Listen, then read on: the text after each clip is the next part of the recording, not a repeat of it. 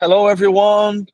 My name is Eduardo, and I'm back with the Karimu Talks. And today it's a very, very special Karimu Talks because we not only have our co-founders, Don and Marianne, but we also have a very special guest uh, that is Julian Page. Julian is the founder of Livingstone Tanzania Trust. And I will start asking Julian uh, to introduce himself and, of course, saying you are very welcome here, Julian. Welcome, Julian. Thank you. Thank you. It's a pleasure to be here. Um, yes, so my name is Julian Page, and I founded the Livingstone Tanzania Trust in 2007 um, after a career change. I used to work in the facilities management in law firms. And um, I don't know if you have it over there. We have Comic Relief or Red Nose Day it's a kind of um, every two years they have a big event, and it's there. There are video clips of the tragic situations around the world, and one of them really just resonated with me. It was about two street kids living in Dar es Salaam, um, a three-year-old girl and a one-year-old girl, uh, sisters, and the one-year-old couldn't walk because rats had eaten her feet and they were living on the street and it was it was just too awful. And my brother had kids the same kind of age and it, it suddenly became very personal. And i thought do you know what? I want to do something different. I want to go and sort something something like that out. So i went and did a master's in international development um, and then set up the livingstone tanzania trust to try and solve problems. Ended up not doing any work with street children but i had the impetus so that's where wow, I'm coming very from. Inspiring. Very inspiring. Very inspiring. Thanks for your time and generosity in sharing your stories here, Julian. I think it will be a great conversation. We also have Don and Marianne, the co-founders of Karimu Foundation. So, Don and Marianne, you want to introduce yourself here? Uh, well, I'll go first because I think Marianne's going to tell the story of the founding of Karimu. I'll just say briefly that uh, yes, my name is Don Stoll, and, and I worked in in education for my career, uh, some uh, higher education, but also secondary. I am now retired since, uh, gosh, uh, uh, about 15 days ago. Yeah, so um, uh, I, I, mean, I, I, do a little, a little tiny bit of tutoring of, of young children, but mainly I'm just working for Karimu, and it, and it feels feels good to be retired from um, from my paying job and and and good to be to be working for nothing for Karimu. I'm very happy to be doing it. Okay, yeah, we are very happy to have you full time in Karimu. It's very important to have you focus here.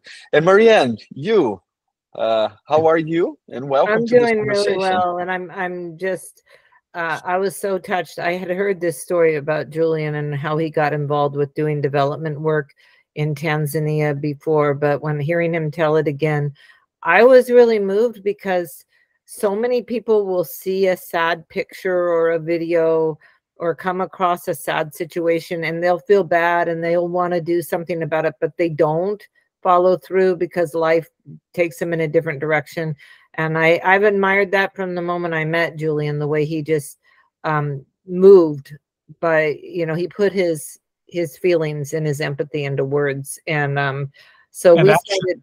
Oh. It, yeah, into action, not into words.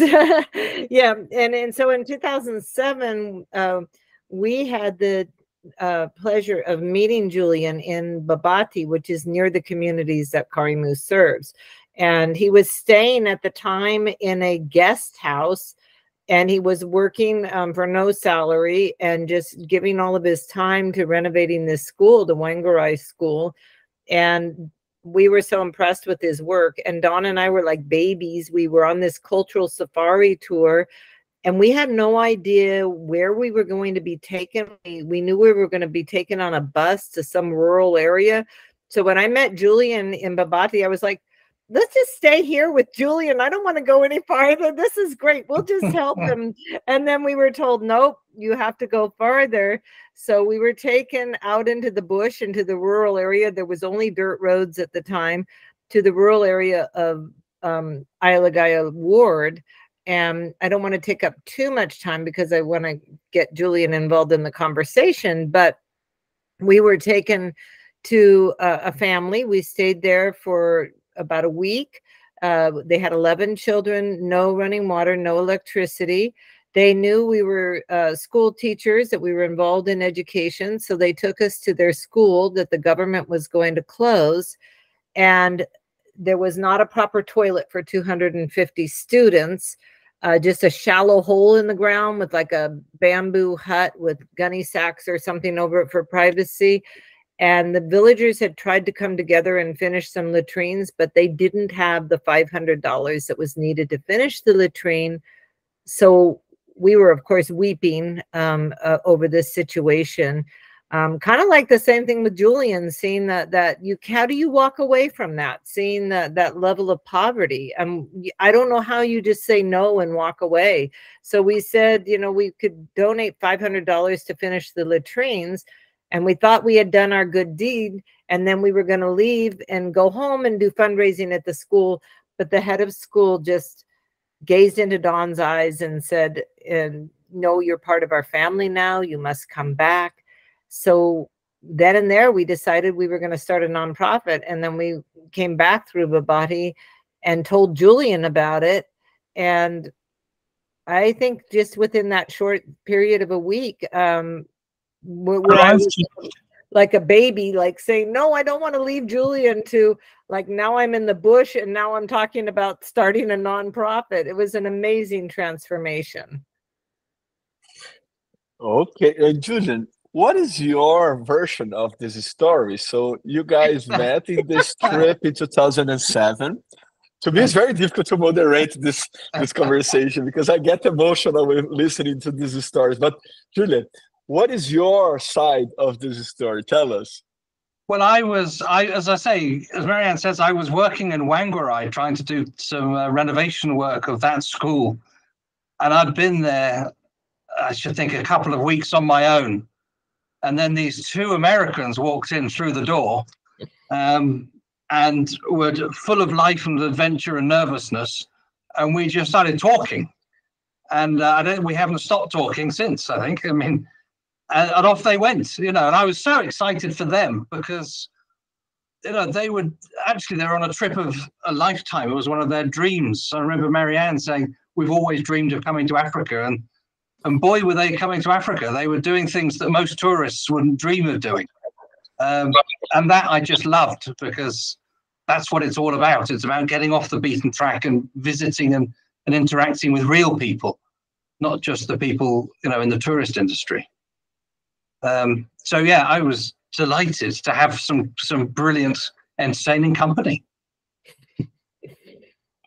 and, okay, and uh, Marianne, how did uh, Julian really influence you? I, I am sure that you uh, there was a spark when you heard uh, uh, uh, his stories, but exactly, specifically, how did he influence you and Don? Well, I'm gonna I'm gonna talk about kind of in broad strokes how I was inspired about him. And then Don can give you some more specifics. And we were just visiting Julian in London this year, and we were like yes. making this uh, list of all the things. Uh, he hosted us at his home, and we were making a list of all the things that he's done for Karimu and by contacting um, his contacts and his influences. So I'm going to let Don speak to that. But I will say, um, it was just he gave us the confidence. I figured if he could do it, we could do it. I don't mean that like, well, if he can do it, we can sure do it.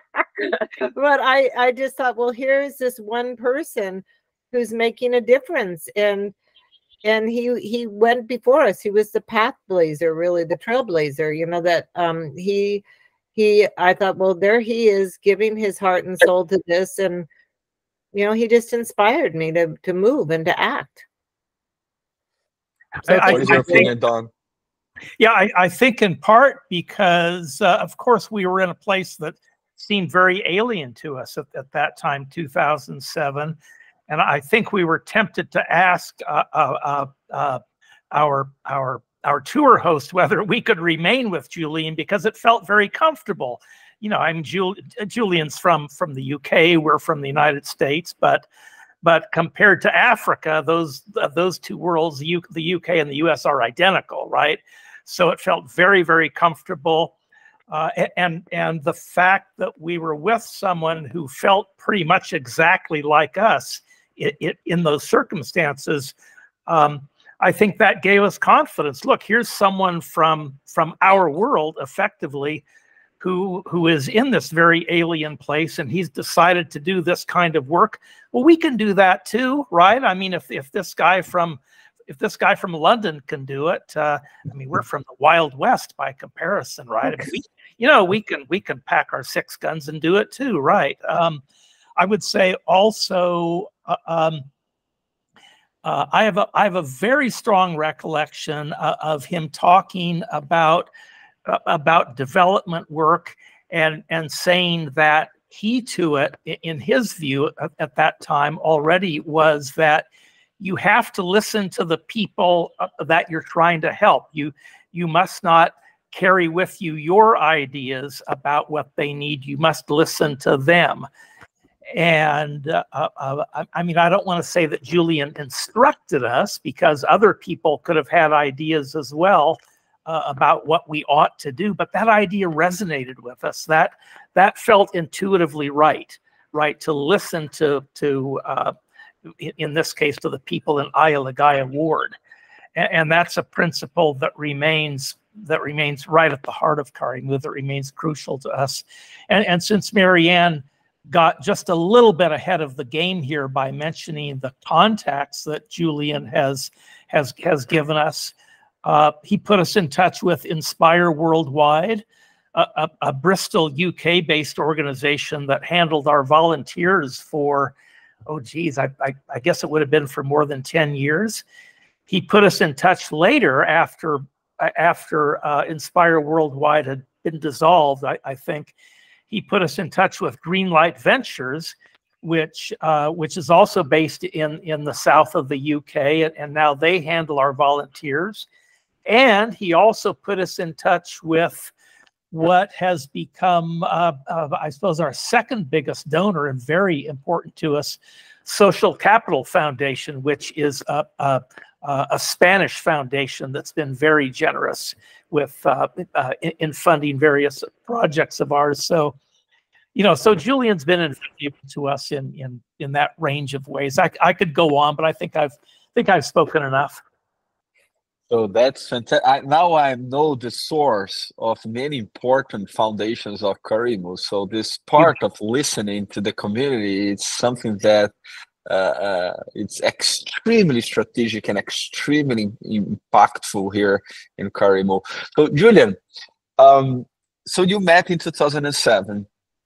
These guys here, they they said that you open doors and they your your example transformed them in what I called uh, special Jedi's to do the good. so uh, I'm a big fan of Star Wars, uh, and you are you are also an important Jedi here. Uh, actually, you you you were very important in the beginning, and I'm sure that uh, other introductions helped Karimu to develop. But what did you see Marianne and John and all the structure and and and and management of Karimu. What did inspire you? So you followed this story for for more than 15 years. So what did Karimu did that you also learned from Marianne and Don? Wow, um, so much. I mean, and that's one of the reasons why I, we have such a good relationship because we're always sharing ideas and learning from each other. Um, nobody has the answers, but we're always tweaking and suggesting. And what about this? What about that? Um, so the things that I have taken away from Karimu start with, I think, the mentality that even in the hardest times, there's still time for laughter and happiness. Because I mm-hmm. always see that in Don and Marianne. They might be struggling with communications on this and that, but it's always fun and and, and full of love. So I'm always reminded of that whenever I go into the field. What would, what would they do? How would they do it? Um, so I've learned that. I've also looked strategically what they're doing, and and they've done things differently than what uh, the Livingstone Tanzania Trust has done. They're much more holistic uh, than we ever were. We wanted to be holistic, but they've taken it to the next level. And they've looked at poverty and gone into lots of different things um, that I'm now thinking, yeah, well, I should be doing some of those things too. Um, and I've done them on small grounds. You know, they've brought water to 40,000. I've brought water to 6,000, not just six people. That would be very sad. Um, but so there's lots of things that we learn from each other um, in that regard. Um, also, I think when they started doing some of their agricultural projects and they looked at market linkages, it made me think, yeah, of course, of course, it's not just about helping farmers to improve their yields, reduce their losses. Um, it's about connecting them to other markets outside of Babati, because that's really where some some wealth can be found for those farmers. And Karimu were, were doing that long before we did it. Um, and it kind of inspired me, of course, that's what we must be doing. So, you know, we take away a lot of things from each other. It's it's fantastic. I appreciate you yeah. saying that, um, Julian. Um, we have to give Nelson Matos, uh, the our COO, a big applause for for taking Karimu to the next level and thinking more strategically like that. But I had never heard that um, that we look like we're having fun. That's great. I'm glad it appears that way, but it is. It's it's a level of it's a level of commitment, really. It, it's like family. You're never going to walk away from a member of your family or a friend, or so it's really not a job as much as it is um, these all these people, all 40,000 of them, we made a commitment to. And you can't walk away from a commitment. When people often say to us, well, you know, there's homeless people in California. Why aren't you helping them? And my answer is always, we made friends there and you don't turn your back on friends. And and friends have to be held accountable as well for each other. It can't be a top you know one is superior and the other is dependent etc and that's something else you taught us too you gave us that great idea of all the parents for example must contribute to school lunches um, and otherwise you don't do a project they everybody uh, every kid needs to be fed why would you build a classroom or do that unless number one the kids are fed so you really gave us that as well yeah well, that's interesting because I got that from somebody else. Uh, I got that from a, a, donor who was visiting and who told me, he said, You're building fantastic classrooms, but what's the point? If the kids are hungry and they're coming to school, they're not going to learn anything. You're wasting your time. And then we had a big discussion with him about, well, if I start feeding all of these kids, then surely I'm just creating dependency and they become dependent on us. So that's not the right thing to be doing either. Um, and that really encouraged us to move on in our model from what we were essentially at the very beginning was a kind of donor organization into a participatory development organization. So we were we we evolved in that kind of sense as a result of that conversation with that donor. Um, so it's one of the things that I'm quite proud of as a charity that we continually evolve uh, as we learn new things, as the environment in which we work keeps changing. You know, we can't stand still. The situation doesn't stand still. So let's keep changing, keep evolving. Very good. So um, uh, we spoke about having fun and the joy of the work we are we are doing here, but I'm sure there were some very very complicated challenges that uh, we all faced during this journey. I, I want to ask about the most complicated phase of your journey when you thought about giving up. So, my first question is Did you think about giving up and say, I can't do this anymore? I can't solve this problem? And what was this worst experience during this so many years journey? Marianne, you can start. You're you're, you, you're muted. Oh well, I guess I can't say anything if I'm muted, right? Uh, I I think it was. Oh gosh, I think one of it was um, we didn't have a lot of communication with the villages in the beginning, um, and nobody had cell phones, etc. And we were only going through one person who was sort of bottlenecking the communication, and that was very, very difficult. Um, I never had thought of giving up, though. I have to be honest. I, I, I really never have thought of giving up because I, I remember even saying to Julian once, if like well, if it ends up that all we can do is build a bridge like we've done or bring water to one school, if that's all we can do, I will keep going back. I mean, of course, we wanted to do more.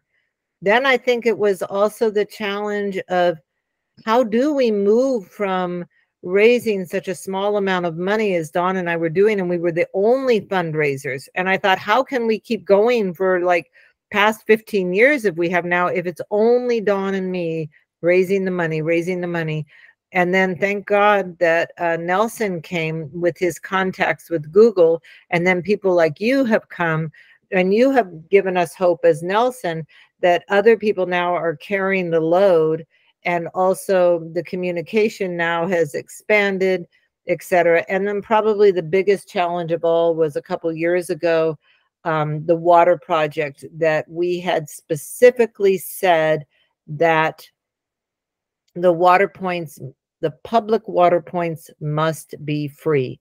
Otherwise, people are going to go back to dirty rivers and all of the money that the donors put into these projects is going to fail. And we did have some difficulties um, with solving that um, with um, with not with the community, but with some higher ups. And thankfully, um, the higher ups in the um, government in Tanzania solved this issue by putting us under RUWASA, the Rural Water Agency, and we were because there were a lot of let me just back up i don't want to like put the blame on anybody or anything like that. There was just a lot of movements and shift within the government and the responsibility and there was a lot of misunderstanding about whether the public water point should be free or not. Thankfully we resolved that and we were able to move forward. Had that not been resolved and if the government had said no public water points are going to be charged we wouldn't be able to move forward with our project. So everything kind of hinged on that because there had to be an understanding of the purpose of the project and who we were serving and what our goal was at Karimu. And once we got that established, which was not easy, and Nelson had a lot of headaches and sleepless nights, as well as Don and I did. And I even thought, well, if Nelson walks away, I guess we'll stay and just do something very small. But I didn't want to do that, and I didn't want to do it without Nelson. So I know that's a long-winded answer. Sorry about that. Uh, we're facing a big challenge right now. It's it's not one that that inclines us to think about giving up, but it but it's a huge challenge. We we believe that our model of poverty elimination is, is something that can be replicated uh, in in in in in uh, any rural community in in any developing country uh, with, with, with a small number of exceptions, uh, where, for example, there's uh, uh, well, well, where, where, there's war ongoing, for example, I don't think we would want to work in a country like that. But uh, so, so right now we're we're trying to figure out how we can how we can grow, how we can bring in more funding, in order to to, to think about moving to, you know, uh, developing countries, let's say in in Latin America or or uh, uh, or Southeast Asia. That's but that's an exciting challenge, and it's not something that that is making us think, oh gosh, we're going to have to quit. That that not, nothing like that. That's good. And Julian, what was your biggest challenge in this journey? Well, I think looking back, one of the things that I do now, whenever we start a project, is I ask as many people in the in the circle, what does success look like, and how do you measure it? And I didn't do that at the beginning, and some of the people in our team didn't necessarily share the same vision of what success looked like, and that then led to uh, conflict down the line because we weren't clear with each other. And then some personal issues came in um, that made it difficult. And so it's the politics of running a small organization, I think, that have been the challenges rather than doing the work itself. Apart from the constant fundraising challenge, that the, the need is always greater than the money you've got to do it in. Um, but yeah, those were my greatest challenges, I think. But there was never a case of giving up. It's always a case of how do we work around this? How do we work with it?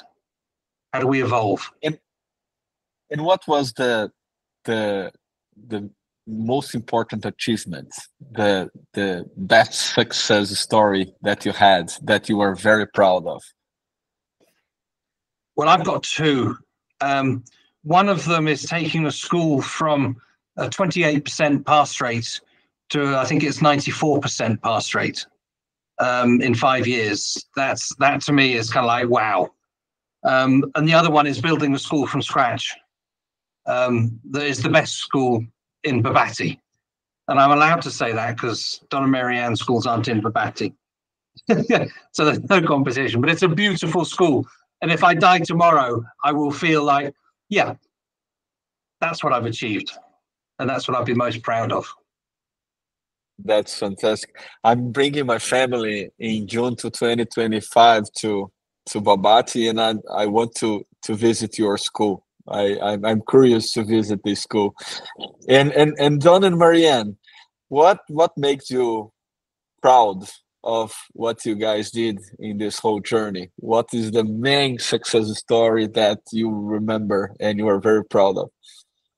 Uh, well, I would, but Marianne might have a different opinion, but but I would say what what I think Julian has already alluded to our two water projects for uh, Ayalagaya Ward and also for for Ari Ward that have brought clean water uh, or made clean water accessible to all 40,000 people in those two wards. I, I think that's our our biggest. Uh, uh, it's not a single achievement, but our our two biggest achievements, I think. Marianne. Well, I think the water has a huge impact, you know, definitely. Um, it just impacts everything school performance, health, the ability to make income, everything. I, I'm going to say something on more of an emotional level. I think our biggest achievement has um, to earn the trust of the Ayalagaya and Ari ward, because without trust, you can do nothing.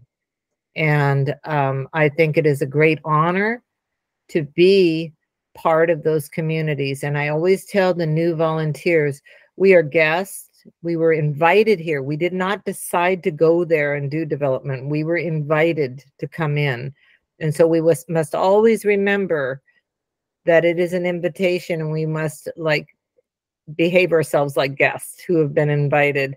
But that trust is irreplaceable. And also to get people like you, Adu, um, who believe in Karimu as much as you do, and you have been drawn into that community as well, to to see others transformed by that community as as we were. And I know you understand what moved us because now you're part of the Karimu circle like that. That trust is so important, isn't it? I I, I kind of forgotten that but it's also part, part of building that trust is being frank and honest and having the strength to say no when no is the answer. Tanzanian culture is very much yes is the answer, but but in development, if you say yes, people expect it. And so actually saying no to the community or to people in power is so important. And that, yeah, builds you your reputation and then your and your integrity, and that means everything in the in the world we're living in. Yeah, I really like that. We often have that. to say no, and it is difficult, but but Julian's exactly right. It it it pays dividends when when when you can say no uh, uh, if it's necessary. Yeah, that's that. That's great what you said that, Julian. Because how how I said trust is so important, but then how do you build that trust, right? And and it isn't always saying yes that's for sure and we try to and i think we have done is make good on all of our promises because we're realistic about what we can accomplish and what we can't. And, and we'll say we don't have the money for that, or that's not part of the strategic plan. So, you know, that you, so in the beginning, people would ask us all kinds of things and, you know, like different people pulling at our shirt tails for different requests. But now when the community comes together with all the different constituencies and does this community strategic plan, we can point to it's not on the strategic plan we we're not it's not there yeah I, I need to add something else to this because it's really i think it's really important that you know we recognize that we have this power and we recognize that there is a huge power imbalance between us and the communities that we work with and we are constantly aware of that and we are constantly trying to give decision making to, to people so that they can have some power, so that we are reduced in power. But ultimately, we know, you know, we've got the power of the budget, but the decision making has to come from the community. They have to have the power to say, this is what we want, this is what we don't want, this is how we want to do it, this is not how we want to do it. And so recognizing power imbalances and, and, and allowing people to have power is vital.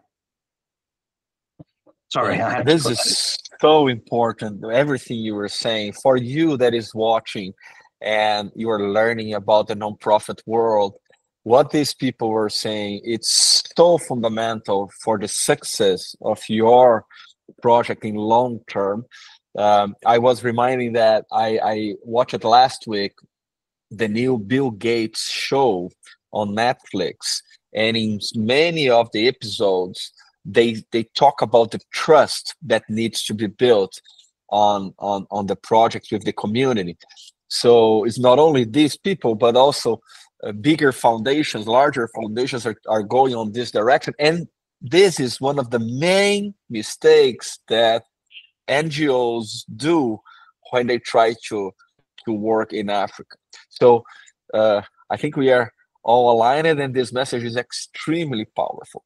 Let's move on. And uh, about the future. Let's talk about the future. So are you optimistic? Are you pessimistic about the future. So what are the next steps for both of your organizations? So julian you want to to start this one? Well that's really interesting. We are at a, a small crossroads at the moment and we have just started for the last um, two months researching four more communities on the outskirts of Babati. Um, we chose these communities because they house four out of the five worst performing schools in Babati. And we wanted to know why. Why are they all in one place? So we've been out in the community interviewing the elders, separating them by men and women, the middle aged people, the youth, the teachers, the farmers, the business people, even the students, talking to everybody, trying to find their perspective. And what is it? The, what are the barriers that are preventing young people accessing a quality education? Uh, so we're gathering that feedback at the moment in these four communities, and we will have a, a really good understanding of the challenges they face. And what's quite exciting for us is that we don't know what we're going to be doing next because they'll be telling us what they want us to do next. Um, and we can't build, you know, we can't build roads, we can't do some of it, but at least they are telling us, and we can share that knowledge with powers that be. But if they're saying we want our primary school to be better, or we need a clinic because our kids are too sick, or we need a bridge because during the rainy season we can't get to school, these are things that maybe we can do. Um, but they'll be telling us and then we're going to be working on co-production so that we're all sitting around the table at the same time making decisions on how it's going to be who's going to be doing the monitoring everyone's going to say what success looks like from their perspective how it's going to be measured and take responsibility so hopefully our responsibility will reduce as theirs increases and so that's going to be a really exciting new chapter for us so yeah we're thrilled by that and a little bit petrified, to be honest. beautiful, beautiful, and amazing. Again, the methodology of listening and and prioritizing according to their point of view it's it's beautiful this is so great to that that i learned this Uh, and yeah, I think this is the way to go. Marianne and Don, what's next? What what what are the plans for the future? Uh, um, I, I, think I've already alluded to uh, our, our plan to expand such that we can work not only in other parts of, of Tanzania, but, but uh, outside of Tanzania, indeed outside of Africa. Um, we anticipate that this is going to take take a while, take take uh, uh, probably a couple of years at minimum uh, I believe that in about 15 minutes, Marianne's go- going to be taking a big step towards that. I think she's having a, a meeting to talk about uh, succession. Isn't that right? In about 15 minutes, Marianne, you're going to be meeting with someone to, uh, uh, in order to. Yeah, yeah. The other part of our um, our next steps is uh, how do we pass this on? You know, when uh, it is nice that the Tanzanians always say they wish us a long life, but I, I know that I know that everybody has their time and you know someday I can't even imagine that, but the day will come where I have to step aside. Maybe I'll be 95 or something and, and then whatever. But um yeah, what what, what do I do that can be passed on and should be passed on? And it's a little difficult i've been trying to think about this because i think when you're the founder there's a there's a kind of a special slot you have as a founder. You're kind of like the mother or father. So how do you replace the mother or the father? But how do i help karimu go to the next step? How do we recruit a, a board that can um, take on the fundraising? So it's not just a handful of people. Um, what happens um, for the longevity of Karimu and how will other NGOs then be attracted to this model and then want to replicate it? Um, one of the things that we've done as we've written the constitution for the board is we actually believe that there must be people on the board at all times to be sort of the the guardians of the values and the legacy of Karimu. One thing I can say that has never changed about Karimu is uh, the values um, that we don't give to individuals, we only give to the community, we listen, etc. Um, that you know the community the community must participate participate in the projects. It must be a holistic approach to poverty. So even though we've expanded, our values have never changed. And as we grow and as we move on, and as Don and I move into uh, old age, how will that be maintained? How will those values be preserved, right? That's great, fantastic. Many, many lessons for for the younger generation that wants to start their work in nonprofits.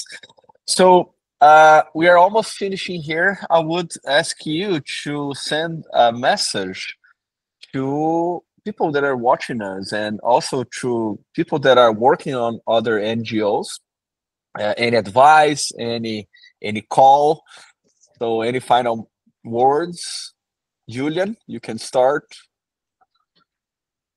I want, if I may, just to have a quick recap on something that I just think is important that we talk about, and that is understanding what poverty is.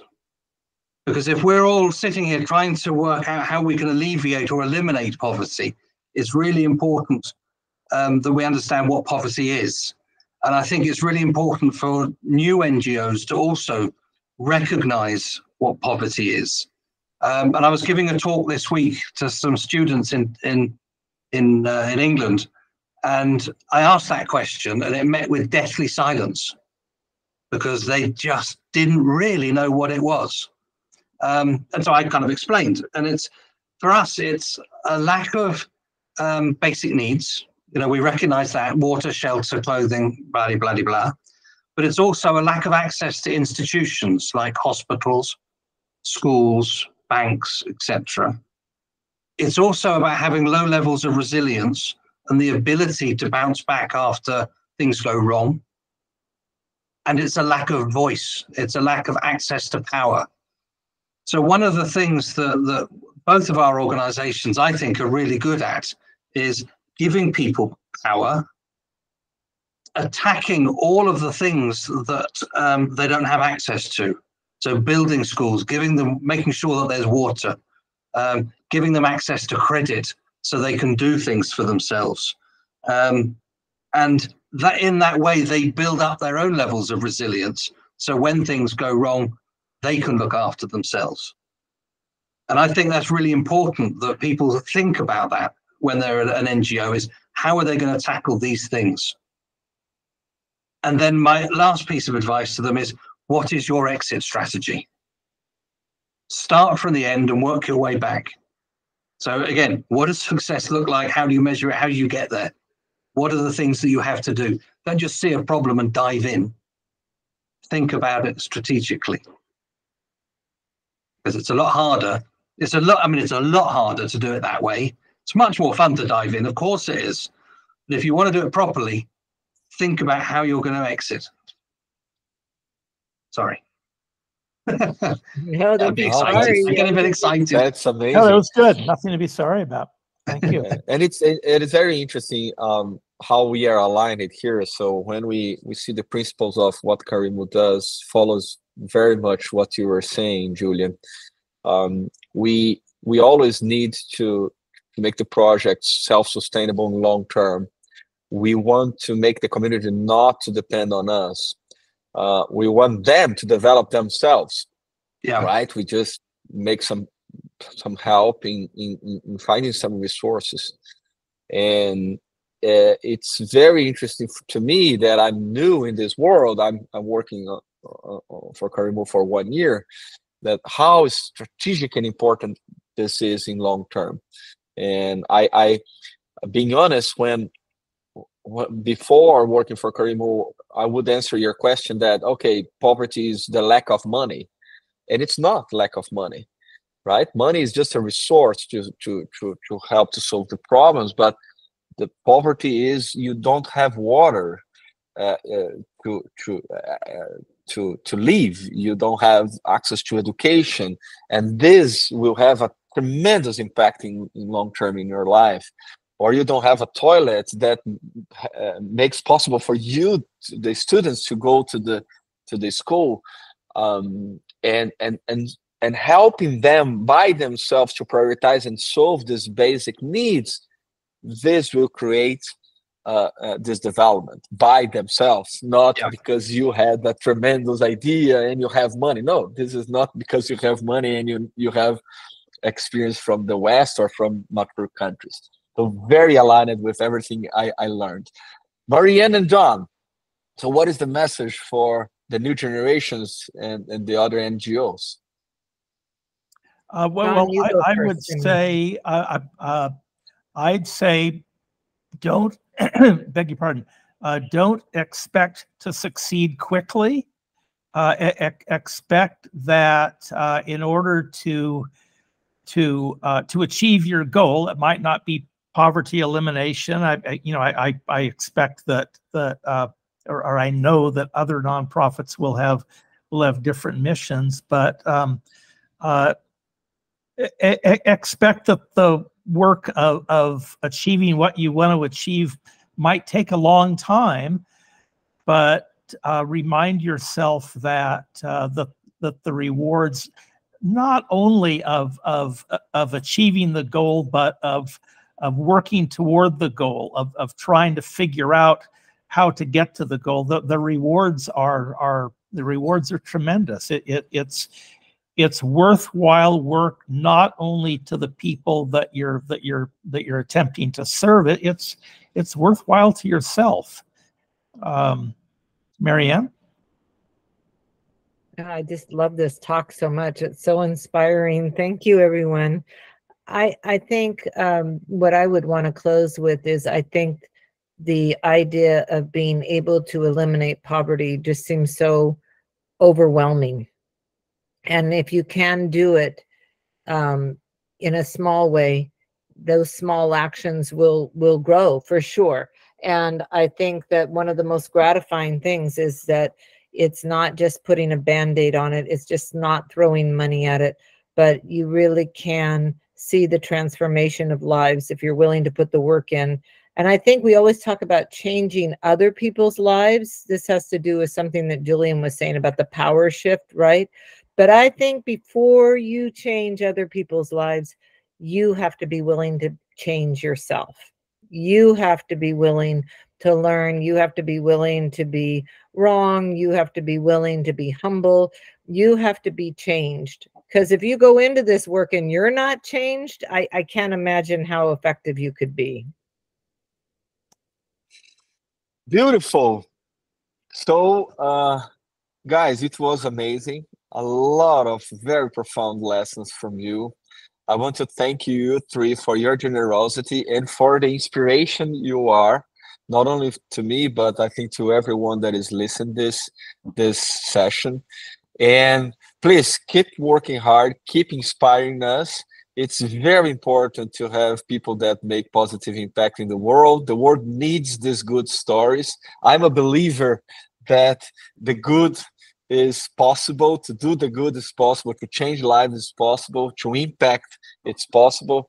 And it's an honor to me to, to meet you guys here and to share all these great stories. Thank you very much for your generosity. Thank you. Thank, Thank you for hosting us. Thank, Thank you for those kind and, words. Yeah, thank yeah, you. Good to see you. Great to see you, Julian. And one last last message: um, uh, you can follow us on on YouTube, uh, Karimu Foundation on YouTube, Karimu Foundation on Instagram, and uh, on Facebook. You also can find all our projects, our trips to Tanzania, volunteer trips in our website, and I'm writing here in the description of this episode all the information to contact the Livingstone Tanzania Trust. So if you want to reach out to Julian and if you're interested in what he's doing in Babati, also we are putting here in the description of this episode all contact of Julian. Okay, so bye everyone. Thanks for watching. And bye. Thank you. Thank you, Adum. Thanks. Bye.